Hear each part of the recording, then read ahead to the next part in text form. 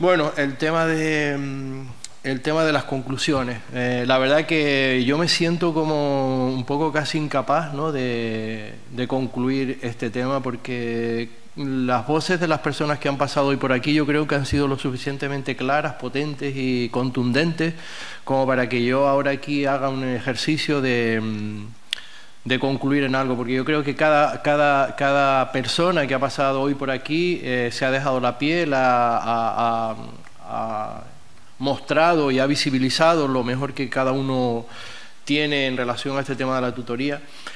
No obstante, bueno, yo eh, tengo que decir un par de cositas, eh, aunque en algunos casos pues casi que me repita, pero mm, bueno, eh, en mi papel de coordinador de las jornadas quería comentar un par de cosas. ¿no? Y lo primero, indudablemente, los agradecimientos. Yo creo que es de obligado cumplimiento decir que estas jornadas no han sido o no se, no se habían podido desarrollar de la manera que, que se han desarrollado sin la participación de un montón de personas, algunas de ellas eh, casi un poco invisibles, pero que han tenido un papel, yo diría que muy importante, no importante, muy importante en, la organización de, este, de esta segunda jornada. Ya ustedes saben de qué les hablo, porque la mayoría de las personas que están aquí han tenido algún tipo de experiencia en la organización de actos de esta, de esta naturaleza. Mm, en primer lugar, yo quería Agradecer al comité organizador que ha participado durante casi este mes en eh, organizar y, ayudarme en un montón de cosas porque organizar esto, que es una cosita sencilla, lleva un montón de tiempo y de, un montón de detalles. ¿no? el trabajo que ha hecho David, Guido, Yarixa, que a pesar de estar eh, de baja ha seguido colaborando con nosotros en diferentes aspectos organizativos, de Mercedes, de INMA. Bueno, ya les digo, máximo agradecimiento y, y, de, mm, y de reconocimiento de esta importante labor que han realizado. Al comité de apoyo, a la... Eh, como digo yo, a mis queridos eh, niños y niñas de Labori, que es el Laboratorio de Orientación y de Tutoría, a Nicole, a, Sofía, a Ainhoa, que está también por ahí, a Antonio, que bueno, que también se han dejado la piel y han colaborado en todo momento para, eh, sobre todo, avanzar y resolver un montón de cosas, eh, sobre todo de tipo, de, tipo organizativo, de infraestructura, de miles de detalles que, bueno, que también su labor es muy importante. Al equipo de audiovisuales no tengo sino que en fin, agradecer enormemente a Román y a Cristina que han estado durante todo el día, desde primera hora. Ayer estuvimos aquí haciendo pruebas, ellos han estado súper implicados en mil cosas y la verdad que mi más sincero reconocimiento. Gracias Cristina y Román por el esfuerzo que han eh, mostrado en este, en este tema. A los ponentes de las tres conferencias y por supuesto también a, a los eh, participantes en, la, en el conversatorio porque han sido unas experiencias yo creo que significativas. Yo creo que hemos acertado plenamente y en fin, no es por eh, sacar pecho, que indudablemente ya saben que no voy de eso, pero yo creo que hemos acertado plenamente en los contenidos de, la, de las temáticas de estas segundas jornadas y yo creo que se han presentado experiencias que han sido de mucho interés en el contexto de la universidad actual. Quiero también agradecer al equipo del vicerrectorado, bueno, Néstor porque está en otras cosas, pero mm, nos ha apoyado enormemente en el desarrollo de esta iniciativa.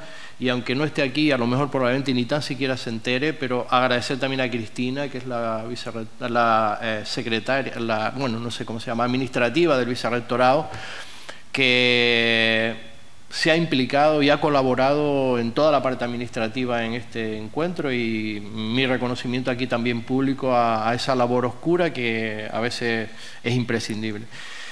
Y bueno, también reconocimiento al patrocinador de estas jornadas, a Caja 7. Ahora en la clausura, si todo va bien, estará aquí el delegado de Caja 7 en Canarias que mm, se ha querido sumar ¿no? a, este, a este esfuerzo que hemos hecho para organizar esta jornada y nosotros también estamos enormemente agradecidos por esta implicación ¿no? de una institución que no tiene que ver con la universidad, pero que se ha mostrado enormemente sensible hacia el interés de un evento de esta naturaleza.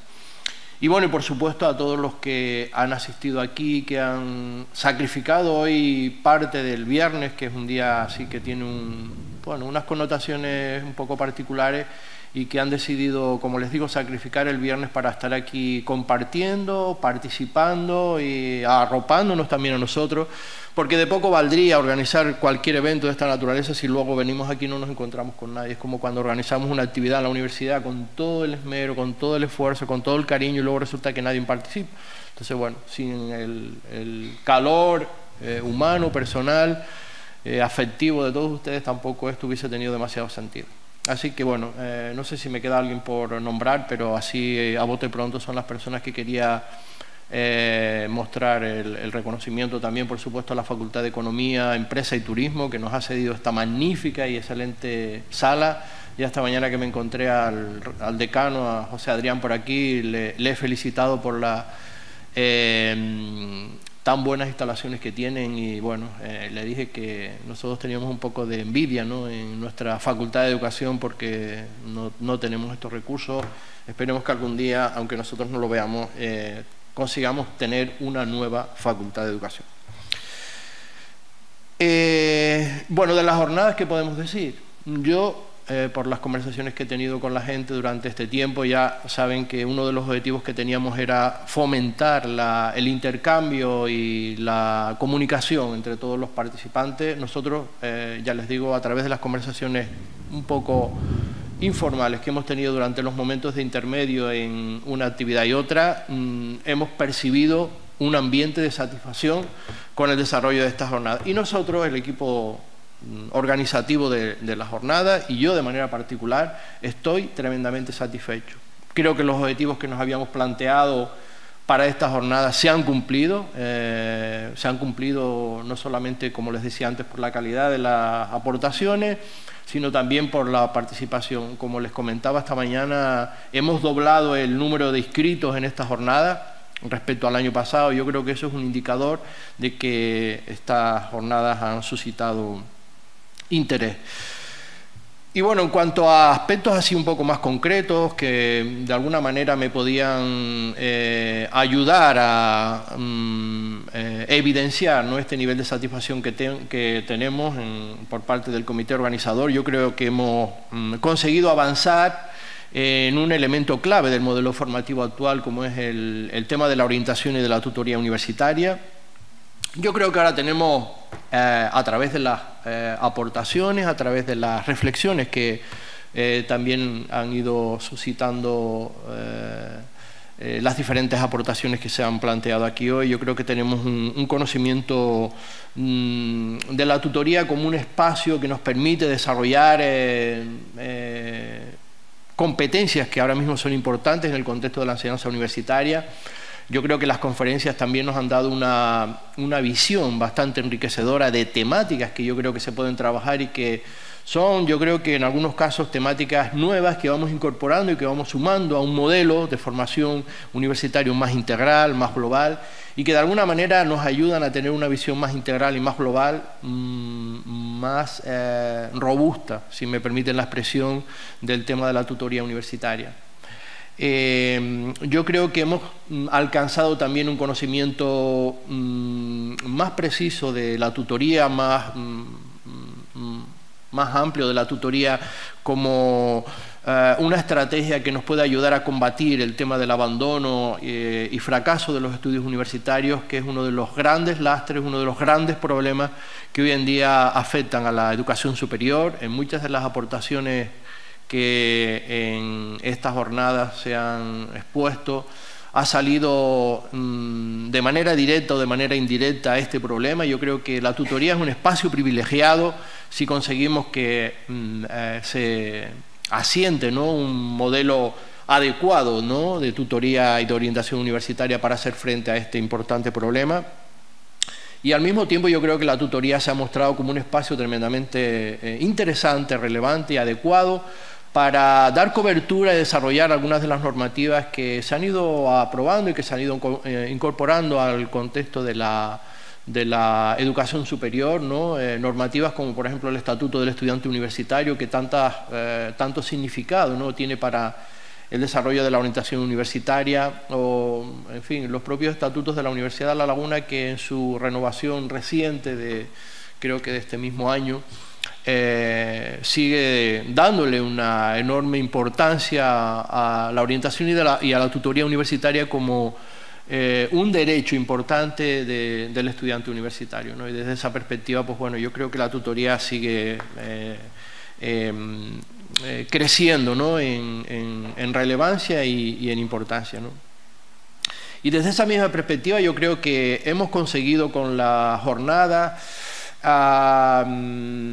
eh, mm, reforzar la, idea de que es una responsabilidad importante de las facultades, de los centros de la Universidad de La Laguna, eh, mm, una responsabilidad, digo, mm, poner en práctica acciones de orientación y de la tutoría. Ya hemos superado esa fase inicial en la que los planes de tutoría y las actividades de orientación eran como actividades con cierto carácter voluntarista, ¿no? que hacían aquellas facultades o que hacían aquellas personas casi a título individual o particular, que bueno, veían en estas actividades una, acción importante para el alumnado. Yo creo que esa fase ya la hemos superado y estamos ahora en una fase en la que es necesario mm, que se impliquen las, eh, facultades, los equipos. Eh, eh, de canales de cada uno de los centros y de cada una de las facultades en el desarrollo de los planes de orientación y de, y de, tutoría. Por otro lado, yo creo que ha quedado también de manifiesto que los planes de orientación y de tutoría eh, constituyen un recurso y una estrategia fundamental e importante para desarrollar ese enfoque de eh, metodología centrada en, el alumnado. El aprendizaje del alumnado es como si dijéramos ahora el foco principal en los procesos formativos en la enseñanza universitaria y bueno, desarrollar ese enfoque de la enseñanza, ese enfoque de los procesos de enseñanza-aprendizaje eh, pasa necesariamente porque el profesorado universitario asuma eh, ese rol fundamental de guía, de acompañante, de amigo crítico, como, a mí me gusta muchas veces eh, eh, definir el papel del tutor y tutora universitaria, ¿no? que yo creo que describe muy bien el sentido que tiene que asumir el profesorado en cuanto a ese papel importante. ¿no?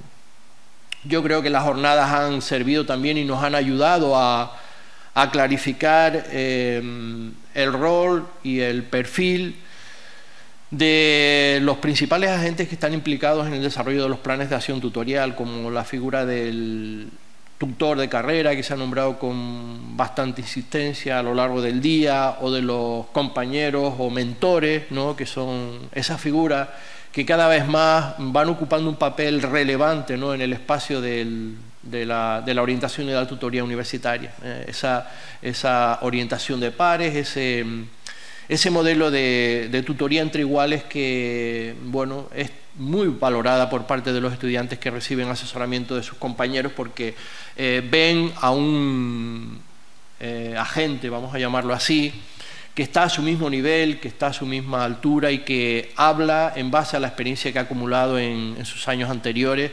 Y eso es un elemento que yo creo que enriquece tremendamente las acciones y las actividades que estos agentes, digamos, eh, pueden desarrollar. Y yo creo que también estas jornadas nos han ayudado de alguna manera, no solamente a través de las experiencias que hemos desarrollado aquí, sino también de las experiencias que se han mostrado fuera en, los pósters, ¿no?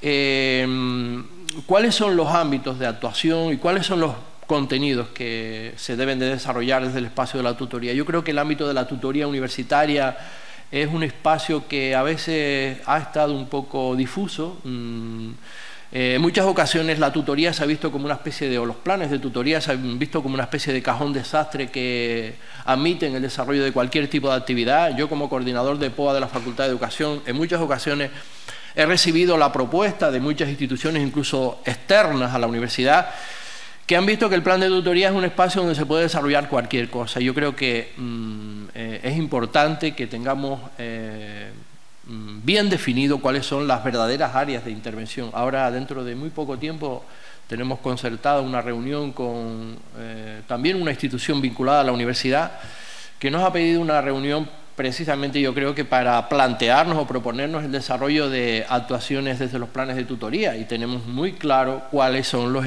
cuál es el espacio y cuáles son los, las áreas de interés que eh, tienen cabida dentro del ámbito de la orientación y de la tutoría. Yo creo que hay cuatro áreas importantes de actuación en el ámbito de la tutoría, como es facilitar la integración social y académica de los estudiantes que llegan a la enseñanza universitaria, es decir, aquellos estudiantes que en proceso de transición se incorporan a la educación superior. En segundo lugar, yo creo que hay otra área de interés fundamental que es ayudar a los, a los estudiantes a gestionar su proceso de aprendizaje. En tercer lugar, yo creo que hay un ámbito también fundamental que es la de ayudar a los estudiantes a clarificar los itinerarios formativos y el desarrollo de competencias profesionales y transversales que están ligadas directamente a los perfiles profesionales de cada titulación. Y por último, yo creo que los planes de tutoría tienen que servir para ayudar a los estudiantes a construir un proyecto académico profesional que se tiene que iniciar desde el primer día en el que los estudiantes acceden a la enseñanza universitaria y servir como de hilo eh, conductor eh, para acompañar a los estudiantes a lo largo de su proceso formativo y a la hora de prepararles para eh, su transición al mercado laboral. Y desde esa perspectiva, los planes de tutoría, no me canso de repetirlo, es una actividad formativa. Cuando Lorenza hablaba antes de la, la tutoría universitaria formativa, es porque nosotros hemos creído que a la tutoría universitaria hay que darle un carácter formativo. Se trabajan contenidos de otra naturaleza, que no son los contenidos ligados a las competencias específicas de cada una de las materias, pero la formación que se desarrolla desde los planes de tutoría tiene un carácter formativo. Y desde esa perspectiva, igual que planificamos una asignatura del currículum, tenemos también que planificar los planes y los programas de orientación y de acción tutorial. Planificar, no improvisar. No podemos esperar a que llegue el día X de la semana en el que trabajamos la tutoría para ver qué es lo que vamos a incorporar. Y buscamos cinco minutos antes algo para darle a los estudiantes ese día. Tenemos que planificar y tenemos que diseñar un programa, un proyecto de orientación y de acción tutorial para cada centro, para cada realidad, en función de las necesidades que tienen los estudiantes, en, función de, eh, de, los objetivos que queremos conseguir en cada, en cada realidad y en cada contexto. ¿no? Y luego para nosotros también estas jornadas tenían un, objetivo fundamental que yo creo que también hemos conseguido eh, eh, avanzar en ello y era la idea de reunir en estas jornadas a profesionales que llevan a cabo una actividad profesional de orientación y de tutoría en diferentes contextos. Y yo, particularmente, yo creo que todos estamos tremendamente satisfechos con ese logro, eh, he tenido hoy la ocasión en diferentes momentos de hablar con personas de la Fundación Universidad Empresa, con orientadoras de centros integrados de formación profesional que han estado aquí desde esta mañana hasta ahora acompañándonos y que llevan a cabo una labor de orientación con estudiantes de otros niveles educativos y bueno, con tutores, con tutoras del POA, con coordinadores, con, en fin, diferentes personas que de alguna manera eh, están, eh, como les digo, vinculadas al desarrollo de los planes de orientación y de, tutoría. Yo creo que esta era una, ocasión importante para unir sinergias, como eh, he comentado en alguna ocasión, para colaborar, para acercarnos, para crear espacios de trabajo y para lograr objetivos comunes que reviertan en última instancia en una formación integral de los estudiantes. Y yo creo que a través de lo que se ha planteado en estas jornadas, de los temas que hemos abordado, mm, yo de manera particular miro con optimismo ¿no? el futuro de la orientación y de la tutoría universitaria, porque las cosas que aquí hoy se han dicho, y vuelvo nuevamente a recordar con, con un enorme interés la mesa que tuvimos anteriormente con los egresados, eh, trabajadores, ¿no? Eh, y, ver un poco la importancia que la orientación y la tutoría tienen en la construcción de esas trayectorias vitales de las personas que pasan por la universidad eh, o que inician una trayectoria de desarrollo profesional, yo creo que son eh, experiencias que nos motivan, que nos enriquecen y que nos animan a, como les digo, a mirar con gran optimismo ¿no? el futuro de, la orientación universitaria. Yo creo que se ha puesto de manifiesto en estas jornadas que la tutoría y la orientación universitaria es un asunto de gran relevancia en el contexto de la educación superior, un contexto, como se ha puesto de manifiesto, diverso, plural, por el que transitan estudiantes con realidades muy diversas, con situaciones a veces bastante complejas, con necesidades muy, eh, a veces muy difíciles de abordar y con problemas ¿no? para conseguir no solamente sus propias metas, sino también las metas y los objetivos de la institución universitaria. Porque cuando un estudiante que llega a la enseñanza universitaria, por los motivos que sean, X, no consigue terminar los estudios, no solamente pierde el estudiante, sino que perdemos nosotros, los docentes que invertimos y nos esforzamos tremendamente porque ese estudiante eh, recorra esa trayectoria formativa ¿no? y se encamine de alguna manera hacia el, hacia el mercado laboral. Es decir, no solamente pierde el estudiante, sino pierde el,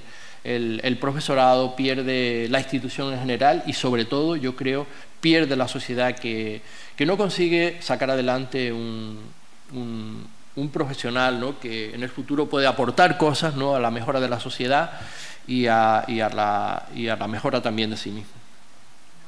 Y bueno, lo que hemos vivido en este tiempo atrás y lo que de alguna manera estamos viviendo como consecuencia de la crisis sanitaria de la, de la pandemia, yo creo que ha puesto de manifiesto también la importancia que tienen los, los planes, de, los planes de tutoría mm, en ese, en ese eh, mm, objetivo ¿no? de, de apoyar y de acompañar a los estudiantes en estos momentos también tan complicados y estos momentos tan difíciles. ¿no? Se ha evidenciado, yo creo que ahora más que nunca, la necesidad y la importancia de que el estudiante cuente con referentes, que cuente con, con guías, en definitiva, que cuente con profesores y profesoras que mm, le acompañen en su trayectoria formativa. Y yo creo que los resultados que en este tiempo se han ido consiguiendo a través de los planes de orientación y de acción tutorial, como les digo, mm, apuntan en esa dirección que para nosotros consideramos que es un, un objetivo deseable. Eh, mm, eh, los estudiantes que han participado en el plan de orientación y de acción tutorial de nuestra, de nuestra facultad, la Facultad de Educación, eh, en el último informe que elaboramos del curso anterior, nos decían a través de una, de una, de una pregunta abierta que, en la que le decíamos que, bueno, ¿qué les había aportado el plan de, de tutoría, el plan de orientación y de acción tutorial en su proceso formativo? Y algunas respuestas un poco eh, de los estudiantes iban en esa dirección que les comentaba. Decía un alumno o alumna, conocer en mayor profundidad la titulación que estaba cursando, mejorar la confianza que tenía en mí mismo para lograr mis metas académicas, aumentar el nivel de motivación que tenía hacia la formación universitaria que estaba realizando.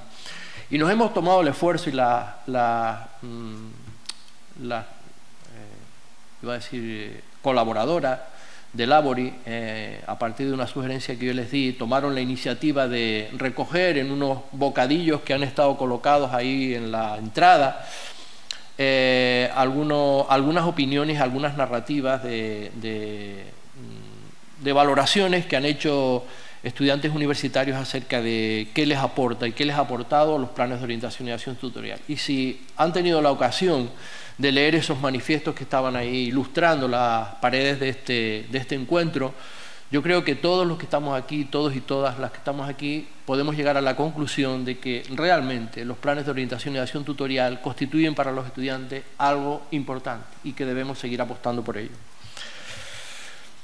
Eh, y bueno, Mm, en esa línea de convencimiento, al menos yo soy un convencido de que eh, estaría, estaría bien, ¿no? Eh, al menos yo soy un convencido de que merece la pena seguir apostando y seguir defendiendo los planes de orientación y de acción tutorial. Y desde esa perspectiva yo mm, vengo eh, colaborando con el Vicerrectorado de Innovación Docente, Calidad y Campus Ancheta en, el desarrollo, de, en, el desarrollo y, y refuerzo de mm, de los planes de orientación y de acción tutorial. Y desde el año 19-20, eh, este vicerrectorado se marcó como uno de los objetivos de, su política, ¿no? reforzar los programas de orientación al estudiante. Y en estos cuatro años, que ahora dentro de poco ya casi terminan, pues yo creo que se ha avanzado bastante en, en diferentes temas ¿no? que, como les digo, tienen como finalidad eh, ampliar, reforzar y avanzar en el desarrollo de la orientación y de la tutoría universitaria. Se ha logrado definir un modelo de trabajo eh, para todos los centros universitarios, para todos los eh, centros y facultades de la Universidad de La Laguna. Se aprobó también en Consejo de Gobierno unas directrices, guías para el desarrollo de planes de orientación y de acción tutorial, que yo creo que es una iniciativa eh, novedosa, innovadora y, yo creo que, hasta donde yo sé, eh, única en todo el contexto de las universidades españolas, mm, porque mm, en esta Universidad de La Laguna hemos conseguido dotarnos de un recurso normativo que de alguna manera nos ayuda al reconocimiento de la orientación y de la tutoría universitaria. Yo creo que esas directrices del POA es un recurso fundamental de, apoyo y de amparo para la puesta en práctica de planes de orientación y de acción tutorial. Seguimos apostando también por el tema de la formación de los profesionales de la orientación y de la tutoría universitaria y en, el, programa en el programa de formación del PDI de la Universidad de La Laguna hay un módulo que solamente está centrado en el ámbito de la orientación y la tutoría universitaria. Eh, se han elaborado diferentes recursos de apoyo al desarrollo de los planes de tutoría que bueno, ponemos siempre a disposición de todos los centros para que en cada facultad y en cada centro se puedan eh, implementar actividades de orientación y de tutoría. Y hemos realizado encuentros de seguimiento Em, periódicos con los coordinadores y coordinadoras de POA de cada una de, de las facultades, con los coordinadores de calidad y con los decanos y con decanas. Y nos hemos ido allí, nos hemos reunido con los profesionales de cada centro para, para, conocer qué dificultades están apareciendo, para ver cómo podemos solventar esas dificultades. Yo creo que ese acercamiento a pie de obra de lo que está pasando en cada facultad con los planes de orientación y de tutoría, nosotros los valoramos positivamente también. Y ha sido, yo creo que, unos encuentros de trabajo bastante interesantes y bastante significativos. De cara al futuro, lógicamente, nosotros vamos a eh, seguir eh, apostando por, por, esta idea, vamos a seguir eh, apostando por este encuentro ¿no? con los centros y apoyarles desde, este, desde ese contacto cercano ¿no? en el desarrollo de los programas de cada, de cada facultad. Mm, vamos a seguir intentando que las facultades tomen conciencia de la responsabilidad, como decía antes, que tienen en el desarrollo de los planes de, orientación y acción tutorial. A estas alturas yo creo que no podemos permitirnos que una facultad no tenga un programa, un proyecto de orientación y de tutoría para, eh, para ofrecerle ¿no? a aquellos estudiantes de la universidad que necesiten apoyo, que necesiten ayuda. Vamos a seguir también apostando por el tema de la formación, porque yo creo que ahí hay un, recurso de gran importancia estratégica para que cada vez más se vayan sumando más profesionales, más docentes a esta causa de la, orientación universitaria.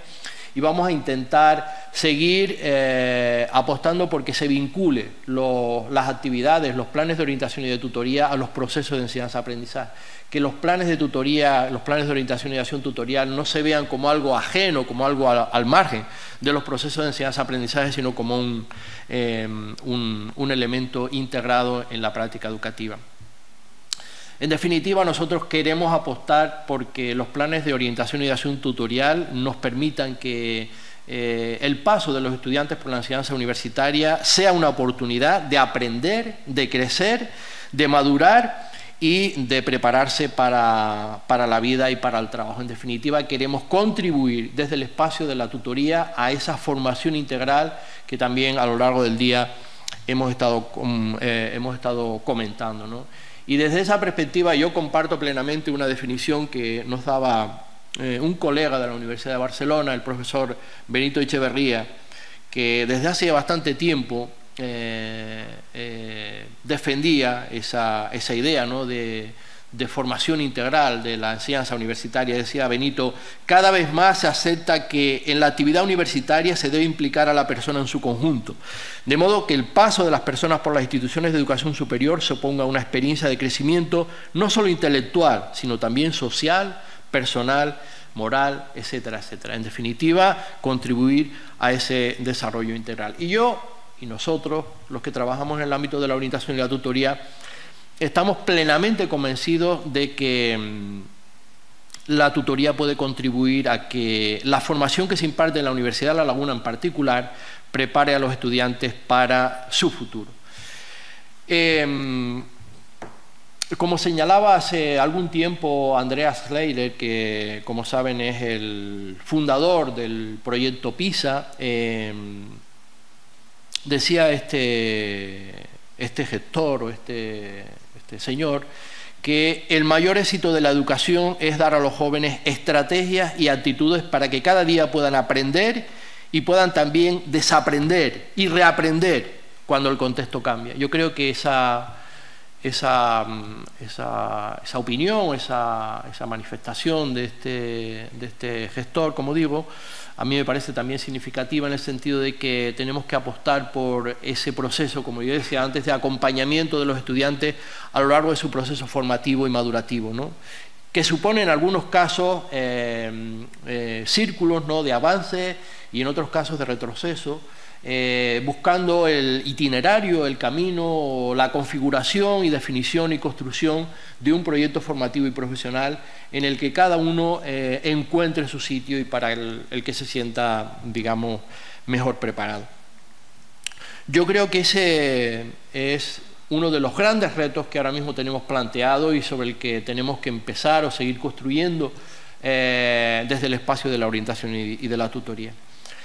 Y ya para ir concluyendo, yo espero que, o esperamos, eh, todas las personas que nos hemos implicado en el desarrollo de esta jornada, que mm, eh, lo que hemos planteado y lo que aquí se ha dicho y se ha desarrollado sirva para seguir arrojando un poco de luz a este, a este proceso, a este, a este proyecto ¿no? de la orientación y de la tutoría universitaria, que se considere seriamente el tema de la orientación y la tutoría universitaria y que se considere como un espacio importante que hay que fortalecer desde diferentes espacios, como les decía antes, desde los propios vicerrectorados, desde los propios equipos de canales, desde los programas de orientación y de tutoría, desde los diferentes servicios de la universidad, desde los diferentes tutores y tutoras, desde el profesorado que participa en el proceso de formación también del alumnado unir sinergias, conectarnos, acercarnos, porque yo creo que cada uno de, estos agentes, de las personas que están detrás de, esta, de estas acciones,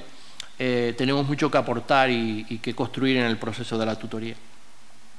Y yo creo que esta atención ¿no? al tema de la orientación de la tutoría universitaria, sin duda evitará eso que decía el gran Machado, ¿no?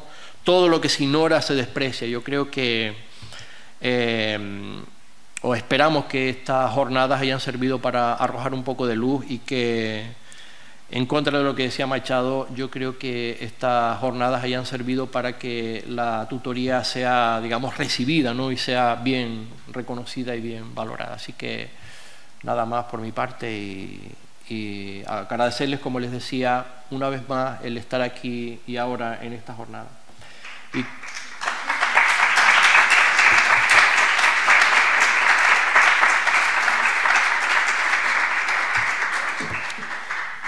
Gracias. Em, casi que como ya están por aquí las personas que cierran el acto, eh, pasamos al cierre y la clausura de, las jornadas, así que invito al vicerrector Néstor Torres y al delegado de Caja 7 en Canarias, que está aquí hoy también Carlos Delgado, a que suba aquí y que haga los honores de cerrar esta jornada. Delegado, se llama cuando hay un banco peninsular. nosotros somos aquí de Canarias. En fin, lo que sea.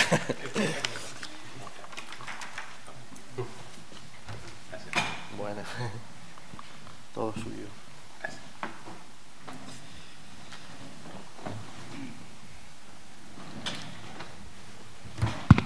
Bueno, pues ya, ya llega el tiempo de, de dar fin eh, a esta intensísima jornada que hemos vivido hoy.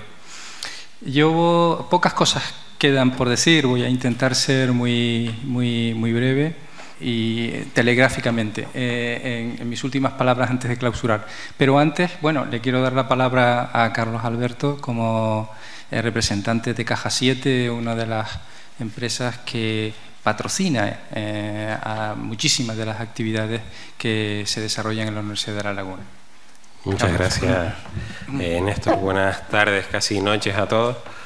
Eh, citaba Pedro la frase de aprender, desaprender y reaprender en, contextos de cambio. Y sin duda no estamos en un momento de cambio, sino en un cambio de época. Y yo pues quisiera trasladarle hasta ahora el orgulloso que me siento de ustedes, eh, porque realmente eh, Canarias necesita en este momento de cambio un futuro mejor y sin duda eh, pasar por la universidad hace, que ayer lo decíamos en un acto en el Consejo Social, que había un investigador de, un, perdón, un, doctor de Barcelona, eh, pues que todos los que pasamos por la universidad pues tenemos eh, un acceso laboral mejor y unas condiciones económicas mejor, ¿no? Por tanto, si queremos tener una comunidad próspera, donde haya riqueza y haya más oportunidades para todos los que vivimos, sin duda pues parte gracias a ustedes ¿no? y a todos sus compañeros. Eh, como saben, pues Caja 7 somos la única entidad financiera canaria, eh, no somos un banco, somos una cooperativa de crédito y por tanto no repartimos dividendos, sino que una parte de los excedentes, ni siquiera damos beneficios, se llaman excedentes, nos los quedamos para ser más solventes y ofrecer mejores productos y tener mejores instalaciones, y la otra la invertimos en la sociedad, porque nuestra misión es contribuir al desarrollo sostenible de Canarias. Y una de las acciones que hacemos, un ejemplo, pues es esto, ¿no? Apoyar, pues saben que tenemos iniciativas con los alumnos como el ingreso sobresaliente, donde premiamos el esfuerzo eh, a, cambio de nada, ¿no? Creemos que son los futuros, estamos eh, convencidos que serán los futuros empresarios, los futuros profesores, los futuros funcionarios, los futuros políticos y queremos premiar a los mejores. Y también pues apoyamos iniciativas de investigación, como por ejemplo las cátedras, y este año queremos estar más cerca del profesorado. Eh, no solo con condiciones financieras ventajosas que tenemos para, para todos ustedes, sino a través de, actividades que fomenten la innovación en educación. Y yo pues eh, agradecer la, invitación de, estar aquí, felicitarles a ustedes por la iniciativa, porque tiene mucho mérito estar aquí un viernes a, última hora, ¿eh? le van a quitar la fama a los funcionarios si siguen haciendo estas cosas. Y muchísimas felicidades y muchas gracias.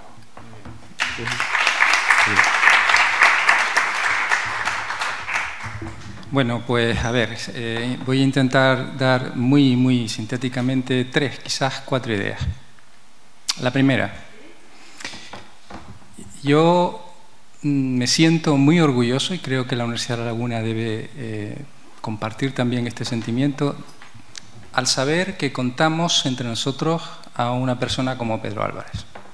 Pedro es alguien que ha dedicado toda su vida como profesional de la educación superior, eh, desde la práctica de la docencia, desde la investigación en este ámbito de, la acción tutorial y de la transferencia de los resultados de esa investigación a su entorno más inmediato a través de las muchas iniciativas que se han desarrollado en la Facultad de Educación. Pedro es una persona que tiene un nombre a nivel internacional, lo hemos podido apreciar hoy es alguien que, bueno, yo creo que aparece ya en las referencias como el precursor de una idea que a lo mejor hace 10, 20 años era, en fin, eh, adelantada a su tiempo, pero que hoy ya está en el, en el centro de la atención de los movimientos educativos. Y tenemos la suerte de contar entre nosotros a alguien como él, que conociendo en todas sus dimensiones lo que significa la organización tutorial, tiene ese nivel de compromiso y de implicación para que su universidad, que es la Universidad de La Laguna, eh, eh, trabaje y avance en esta dirección. O sea que muchísimas gracias, Pedro, por, por todo tu trabajo. Él es el alma de estas jornadas que...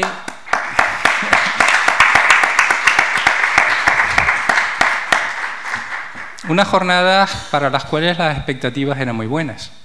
Eh, y yo creo, y he tenido oportunidad de estar aquí la mayor parte del tiempo, eh, que efectivamente esas expectativas se han cumplido y se han cumplido con creces. Yo me atrevo a calificar de éxito lo que, lo que hemos vivido hoy.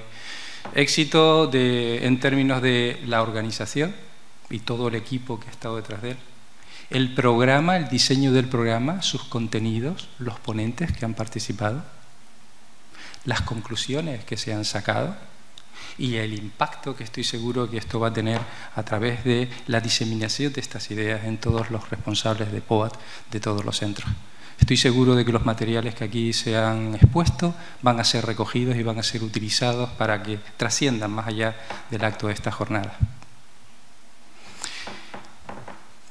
Hace como seis o siete meses, no recuerdo exactamente el tiempo, en una mm, reunión en donde se estaba valorando los términos del convenio que Caja 7 iba a firmar con la Universidad de La Laguna y en donde se diseñaban cuáles eran las líneas en las cuales esta contribución que hacía esta, eh, eh, la obra social de Caja 7 para el caso de la universidad, pues me vi sorprendido, agradablemente sorprendido, cuando Carlos dijo, yo quiero que haya una línea dedicada a fomentar y mejorar la calidad de la docencia en la Universidad de La Laguna.